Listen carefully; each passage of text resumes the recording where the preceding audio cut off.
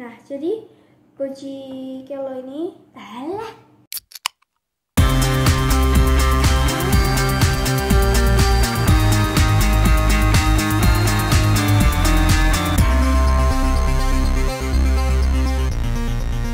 Halo guys, para homebrewers, Cafe Alex, dan pemuja kafein. Jadi kembali lagi di channel ini Little Little Barista sama aku ya. Nah, jadi hari ini seperti biasa kita bakalan brewing dan bean Nah, untuk kali ini aku bakalan brewing biji yang bisa jadi referensi kalian buat dicoba di rumah ya Nah, aku juga mau terima kasih buat kalian udah support aku selama ini, udah subscribe, like, ya. Nah, buat kalian yang belum subscribe, like, comment, dan share ke seluruh media sosial yang kalian punya, segera ya. Oke guys, jadi hari ini aku bakalan brewing dan bean testing biji kopi yang bisa menjadi referensi kalian buat dicoba di rumah ya. Nah, jadi hari ini aku bakalan brewing ini nih guys. Biji kopi ini yaitu Ethiopia Boji Kelo dari Curious People Jakarta. Nah, jadi sebenarnya Curious People Roaster ini sendiri sih sudah lumayan terkenal ya dan terutama mereka ini sangat-sangat oke banget untuk mengolah e, biji kopi dari luar negeri ya atau luar Indonesia. Nah, mereka ini juga memiliki banyak koleksi biji dari luar negeri. Jadi kali ini yang aku pilih dari Curious adalah ini Ethiopia Boji Kelo. Nah oke okay guys, jadi kalian tahu kan pasti biji Ethiopia itu banyak banget ya. Nah jadi setiap region di Ethiopia itu punya uh, biji kopi tersendiri gitu ya. Nah ya biasanya yang terkenal itu region Genika yaitu kopinya uh, Yirga Kefe dan Gici terus ada region Sidamo, ada region Harar ya.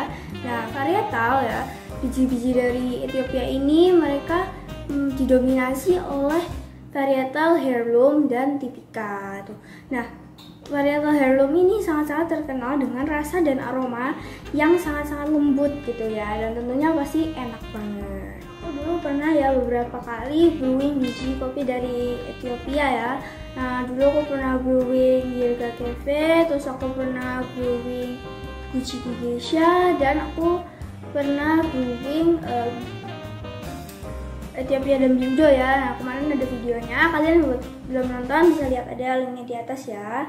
Nah, untuk kali ini aku bakalan brewing kopi uh, yang region regionnya dari Kocero ya. Nah, yaitu tepatnya di uh, mana namanya?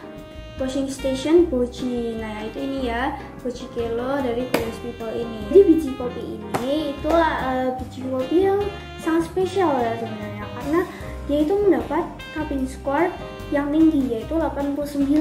Nah, berarti dia itu udah hampir uh, menjadi kopi ting kelas atas gitu ya. Yang mendapat cupping score 90 atau di atas 90 biji kopi Boji Kelo ini dia ini varietalnya heirloom dan dia itu diproses wash ya. Nah jadi bakalan uh, ketahuan banget kan ya kalau rasanya bakal kayak gimana nih. Nanti kan pastinya bakalan uh, light banget lembut banget terus pastinya ada rasa floralnya dan tentunya masih balance acidity dan bodinya ya. Nah kemarin pas papa aku dap apa dapat paketnya, terus papa aku langsung buka. Ini ya kotaknya kayak gini.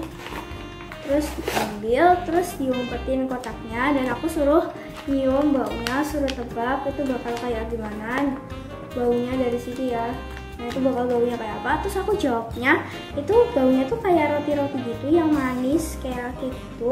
Nah terus kalian bisa lihat ya di sini. Ini ada tulisannya ini ada vanilanya ya.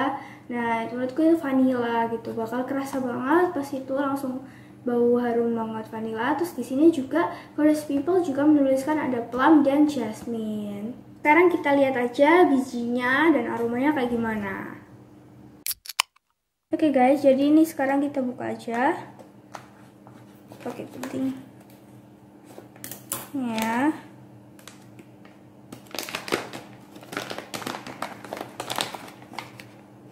Hmm, ini ya seperti yang tadi aku bilang ya. Hmm, ini baunya memang kayak vanilla gitu ya menurut aku ini bau vanilanya. Hmm, langsung aja kita tuangin ke sini. ini ya kalian bisa lihat di sini. Nah ini ya ini khas banget biji dari Ethiopia ya ini kecil-kecil gini. Terus kan tadi dia bilang ya di sini di roastingnya uh, eh di roasting kan prosesnya ini wash ya ini seperti ciri-cirinya ya ini ada putih-putihnya gitu di tengah kelihatan. Tapi ini nggak ada kulit tanduknya nah ini tapi roastingannya ini merata banget ya ini cukup merata baunya enak banget lagi. Hmm pokoknya ini kayaknya sih bakalan enak banget ya rasanya. Oke. Okay. oke okay guys jadi hari ini aku bakalan uh, menggunakan metode seduh yang dianjurkan yang ini ya di kartu ini sama Korean People. Jadi ini memang resepnya udah dari sana. Mereka ini per ini rasionya satu banding 16 terus mereka apa ini suhu air 90 sampai 93 seperti biasa aku pakai 90 terus ini medium to medium to fine ya. Terus ini waktunya selesai itu 2 menit 30 detik. Nah terus jadi nanti metodenya bakalan jadi jumlah air bakalan dibagi menjadi 4 puring ya. Nah oke okay guys jadi ini puring pertama adalah 20% dari air. Aku berarti kan 116 jadi 320 eh, gram ya berarti 20% dari 320 adalah 64 gram. Terus habis itu poin kedua uh, itu adalah 30% dari air berarti 96 gram. Terus aku terus ini di sini itu 25% ada poin ketiga dan keempat itu 25% dari jumlah air adalah 80 gram gitu. Terus nanti 80 gram lagi guys sekarang kita mulai seduh ya. Nah ini tadi aku udah priwet dulu. Kita sekarang buka. Nih bijinya. Tadi udah aku grinding. Hmm baunya enak banget bau vanilanya ya itu. Tadi aku udah bilang ya. Langsung kita tuang. Jangan lupa diratain. Terus onen dulu kita mulai aja sekarang.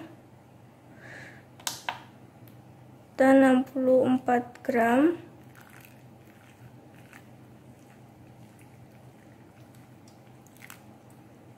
Oke ini ya guys ya ada bubble-bubble yang gini.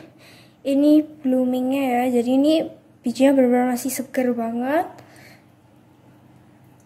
Terus nanti kita bakalan mulai lagi ke detik 30 sebentar lagi ya sambil tunggu airnya turun oke okay. kita mulai lagi 96 gram sampai 160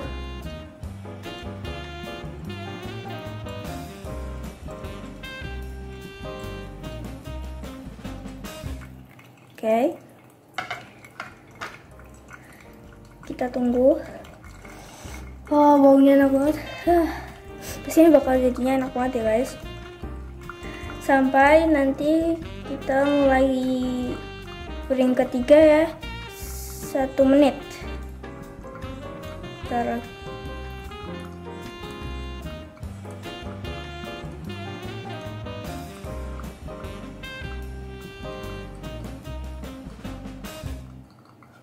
Oke, kita mulai lagi. Ini 25% yaitu 80 gram sampai 240 ya.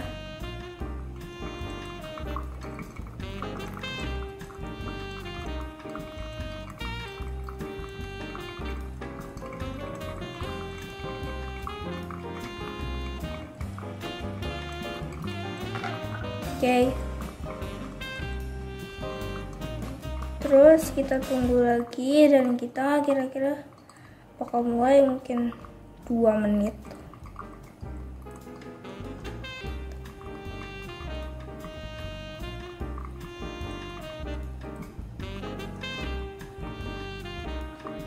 Oke kita mulai lagi 25% dan ini puring terakhir ya. 80 gram 320 sampai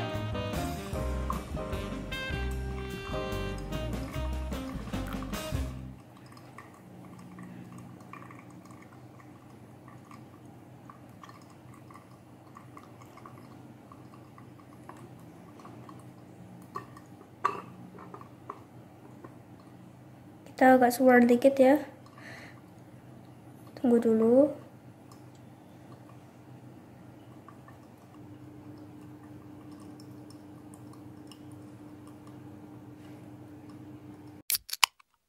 Oke okay guys, jadi sekarang kita langsung cuci baju Ini aku udah selesai.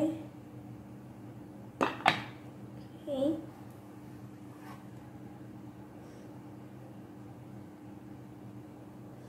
Hmm. hmm. Baunya enak banget ya. Kayak ya vanilla itu sama aku kayak nyium bau-bau teh gitu kan mungkin tadi ada jasmine ya langsung aja kita cicip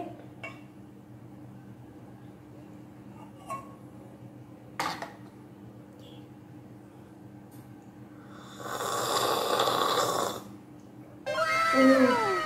Ini enak banget guys. Gak nyesel sih.